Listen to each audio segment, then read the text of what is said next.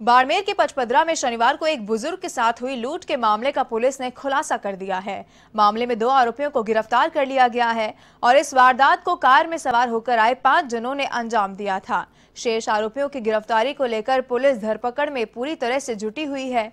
आपको बता दें कि शनिवार को बुज़ुर्ग के साथ लूट की गई थी।